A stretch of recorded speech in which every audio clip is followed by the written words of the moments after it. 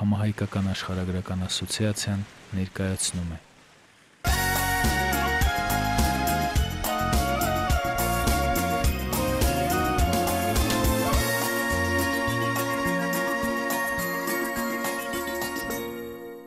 Ծրագիրն իրականացվել է Հայաստանի Հանրապետության Սփյուռքի նախարարության աջակցությամբ։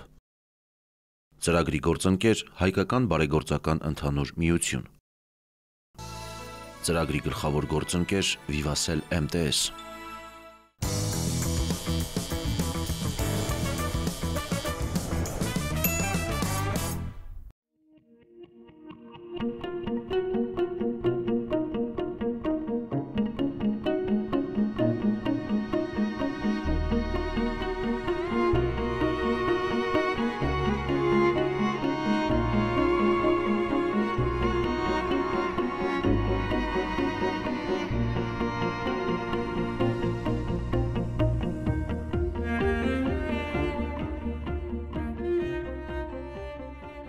Հիմնադրամը որպես այդպեսին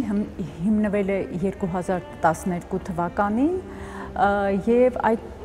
միտքը հղացել է դեռևս 2010 թվականին, երբ ես աշխատում եի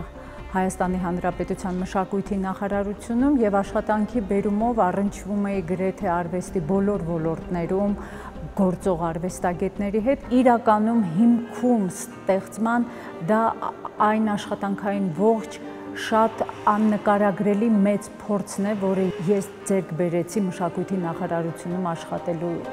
տարիներին։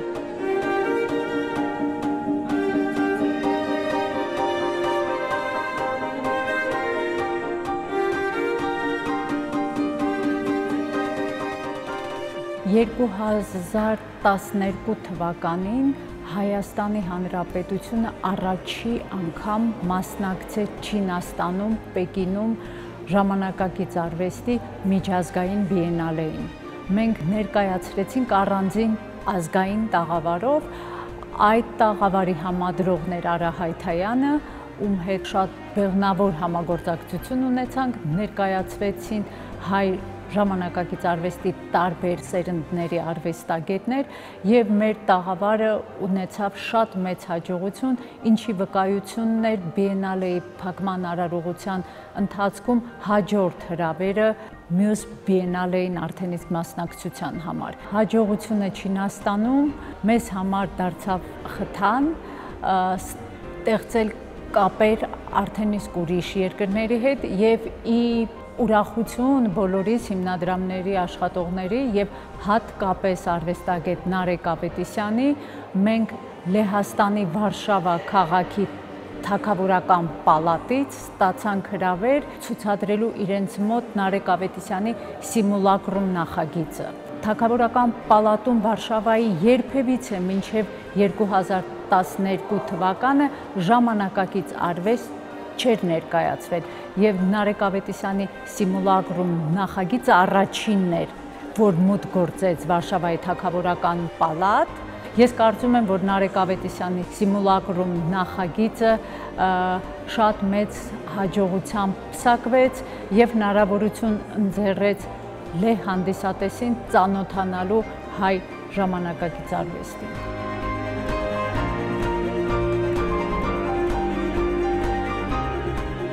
2015 թվականի սեպտեմբերին Երևան ժամանեցին շվեյցարական աթելյե Մոնդիալ այդ մեծ կառույցի պատվիրակությունը գերմանական Ֆրայբուրգ քաղաքի քաղաքապետարանի վարչության պետը եւ այստեղ կնքվեց մշակույթների երկխոսություն հիմնադրամի հետ պայմանագիր, երրակողմ պայմանագիր արվեստագետների փոխանակման ծրագրի, որի արդյունքում հայ արվեստագետը մեկնում է գերմանական Ֆրայբուրգ քաղաք եւ այնտեղ 6 ամիս շարունակ ապրում եւ ստեղծագործում է եւ առաջի արվեստագետը, որը մեկնեց Գերմանիա, դա Արման Վահանյանն էր, Արման Վահանյանը ղեկավարում էր Հայաստանյան գեղագիտական կենտրոնի գեղարվեստական տպագրության արվեստանոցը եւ Արման Վահանյանի 6 ամսյա այդ ստեղծագործական ուղևորությունը նույնպես փսակվեց հաջողությամբ, ունեցավ անհատական ցուցահանդես, որի շրջանակներում ստացավ հրավեր 7 ամսով մեկնել շվեյցարական Բազել քաղաք։ Մենք իրականացրեցինք մի շատ հետաքրքիր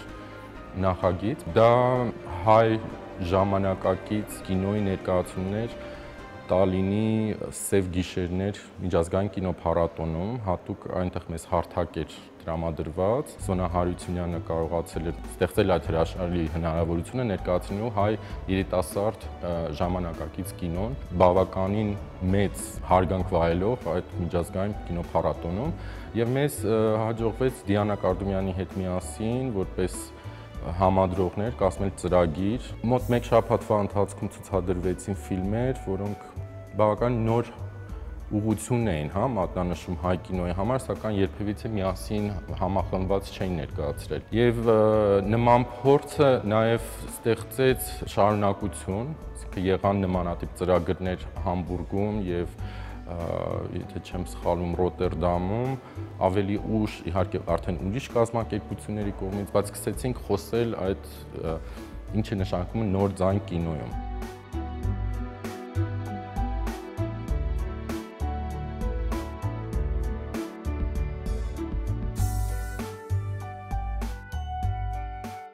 Այսօր առհասարակ մշակութային ոլորտում տիրում է կարելի է ասել փոքր ինչ անհասկանալի իրավիճակ, որովհետև այն բոլոր մշակույթներին բնորոշ ինքնությունները կարծեք թե տարալուծվել են այսօր ամեն օր եւ քիչ է այդ մշակույթի ինքնությունը բնորոշող տարը արվեստում եւ ես կարծում եմ որ Հայաստանը այն բացառիկ երկրներից է որտեղ արվեստում եւ մշակույթում այդ ինքնության տարը դեռ արկա է եւ վառ արտահայտված եւ մշակույթների երկխոսություն հիմնադրամի առաջնային ուղություններից մեկն է հայ ժամանակակից արվեստի հանրահրճակումը Հայաստանից դուրս, այսինքն այդպիսով մենք ցանկանում ենք ցույց տալ աշխարհին մեր արվեստի եւ մեր մշակույթի առանձնահատկությունները։ Ծրագիրն իրականացվել է Հայաստանի Հանրապետության Սփյուռքի նախարարության աջակցությամբ։ Ծրագրի գործընկեր Հայկական բարեգործական ընդհանուր միություն։ Ծրագրի գլխավոր գործընկեր Vivassel MTS մենք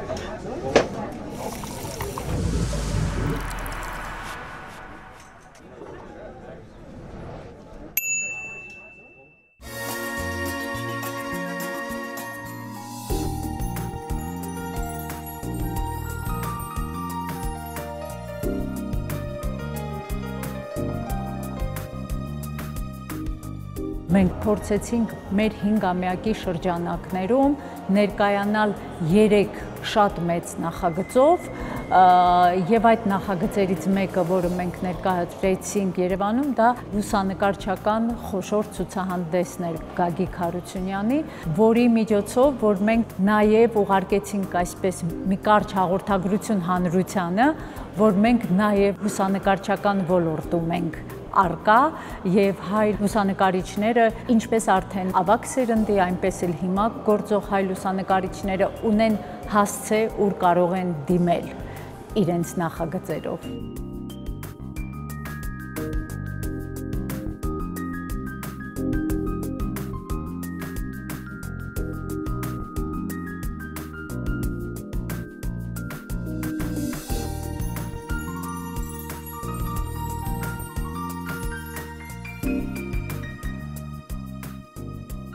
կրպակներում վաճառվում էին ֆոտոամսագրերը։ Այդ ամսագրերի ազդեցություններից ելնելով նման խաղեր խաղալ, նման նկարներ ստեղծել։ Դրանից հետո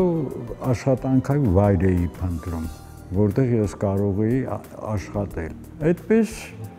ընդունվեցի Կամսամոլ Ստերտ։ Ես ինքս հասկացել էի մի բան, որ լուսանկարիչ դառնալու համար պետք է անընդհատ շարժման մեջ լինել որ անընդհատ գնալ ու կհանդիպես քո առարկային, ինչը որ ուզում ես։ առարկան չի գա քեզ մոտենա երբեք, դու պիտի մոտենաս։ Դե համար լրագիրը ընթերցիկ։ Կամսամոլես թերթը երիտասարդական թերթ է, բայց ես ինքը շփվելու եմ երիտասարդների հետ, անընդհատ գնալու եմ Հայաստանի տարբեր շրջաններ նկարելու ու տենց էլ կար գնում էի, նկարում էի, բայց դա էլ շատ կարճ տևեր, չէր բավարարում։ Դուրս եկա եւ հրավիրեցին ԱՕՔ-ս։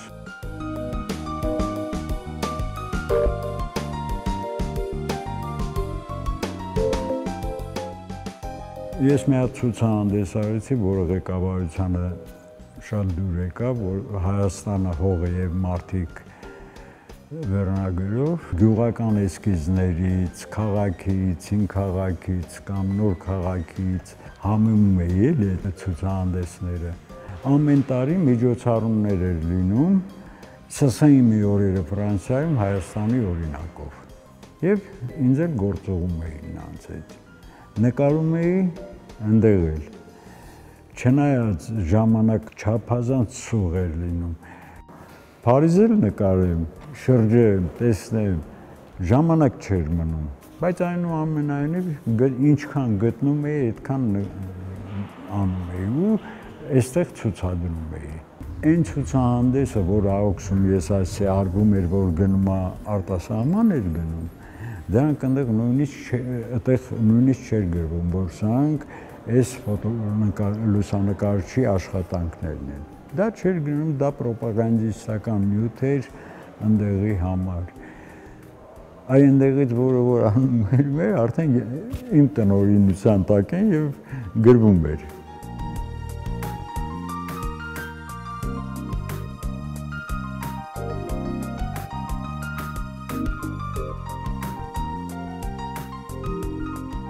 Ես սիրում եմ գյուղը, գյուղում քաղաքի համեմատ չնայած մարդիկ ամեն օր նույնն են, բայց այնուամենայնիվ գյուղում այտենց բան չի լինի, երկու մարդ իրար դիմաց գնան ու չբարևեն։ Բայց այսպես գյուղում անծանոթ մարդ էլ իրար դիմաց չի հանդիպում, ის ծանոթ էլ։ Նույն տեղում կա վերևի նկարում մտահոգված մարդ անստած կամ երիտասարդ կինը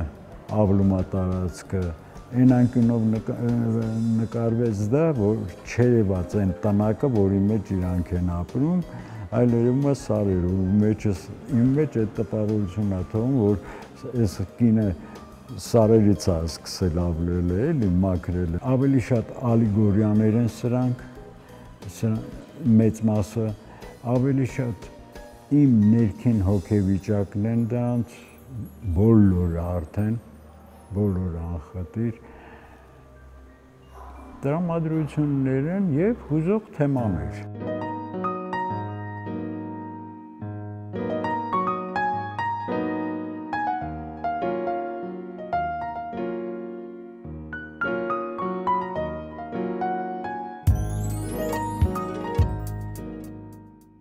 Այս ցուցահանդեսի գաղափարը ծնվեց ընդամենը 1 տարի անց 2011 թվականին, երբ որ ինձ հաջողվեց հանդիպել Գագիկ Հարությունյանի հետ իր բնակարանում եւ ես անմիջապես առաջարկեցի հետահայացուցահանդես անելու գաղափարը, քանի որ իր ստեղծագործությանը ես ծանոթ էի երկար ժամանակ, ցավոք չէի կարողանում հենց արվեստագետին գտնել եւ միևնույն ժամանակ ես իհարկե այս գաղափարը քննարկեցի մշակույթների երկխոսություն հիմնադրամի նախագահ, հիմնադիր նախագահ Սոնա Հարությունյանի հետ եւ նրանք նույնպես հենց այդ ընթացքում սկսում էին իրենց գործունեությունը,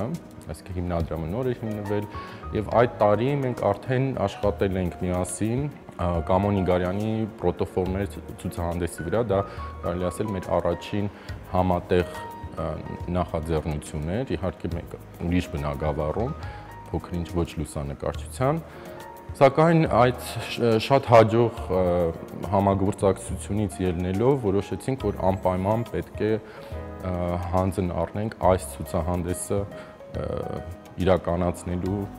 գաղափարը։ Ցուցահանդեսի նպատակը նա էր, որ պետք է ներկայացնել բացահայտել Գագիկ Հարությունյանի արվեստը ոչ միայն նոր սերնդին, որը իրեն ծանոթ չէր, բայց նաև այն մարդկանց, այն սերնդին, որոնք իրենք ճանաչում են, բայց որոշակի տեսանկյունից։ ու, ու պետք էր այդ տեսանկյունը ինչ որ առումով փոխել եւ այլ կոնտեքստում ներկայացնել Գագիկ Խարությունյան ոչ միայն զուտ հայ լուսանկարչության պատմության կոնտեքստում, այլ նաեւ ընդհանուր հայ արդի եւ ժամանակակից արվեստի կոնտեքստում։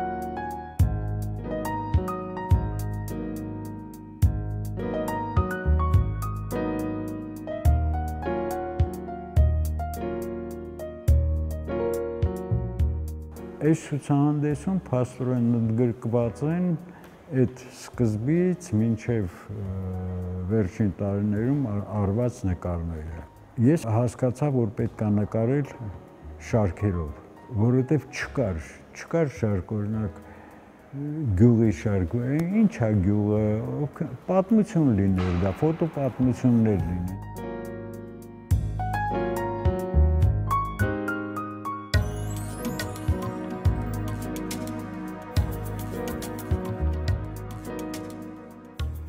Այս ժամանակից ստվերներ կոչեց Վիգեն, Վիգենը Գալստյան։ Ես չեմ կոչե, բայց ես դեմել չեղա, որովհետև կարելի էր եւ այտենց ասել։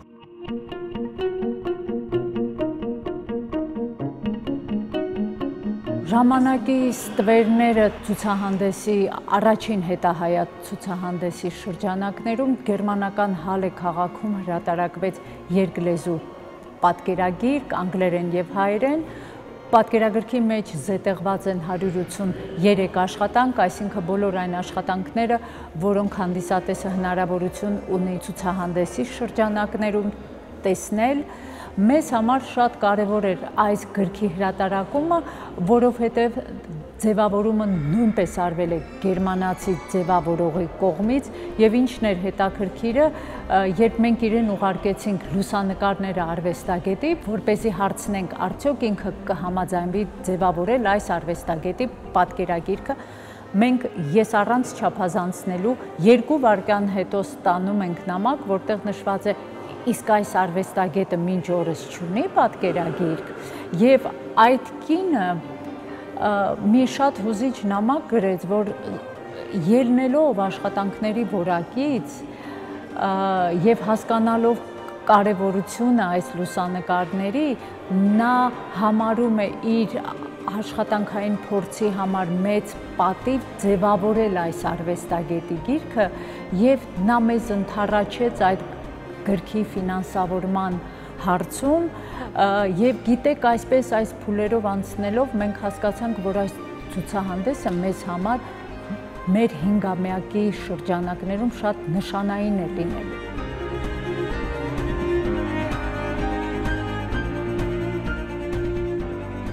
Մենք շատ ուրախ ենք, որ այս մեր գործնեության արդյունքում հնարավորություն ենք ընձեռում ժամանակակից արվեստի դաշտում գործող արվեստագետներին